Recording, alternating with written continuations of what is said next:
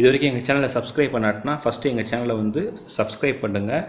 மறக்காமல் பெல் சிம்பிளை வந்து கிளிக் பண்ணுங்கள் அப்போ தான் எங்கள் வீடியோ எல்லாமே உங்களுக்கு விரைவாக வந்து சேரும்